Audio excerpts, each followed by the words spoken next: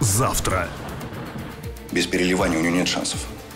А если она останется жива, возможно, нам удастся победить болезнь. А если нет? Никто не должен знать, что ты здесь находишься. Мы же не хотим, чтобы кто-нибудь еще заразился.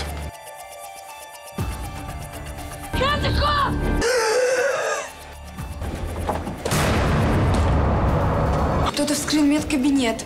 Я пошла за валидолом для Вадима Юрьевича. Подхожу, а дверь открыта. Андрей, Закрытая школа. Выпускной. Завтра в 20.00 на ТВ Рус.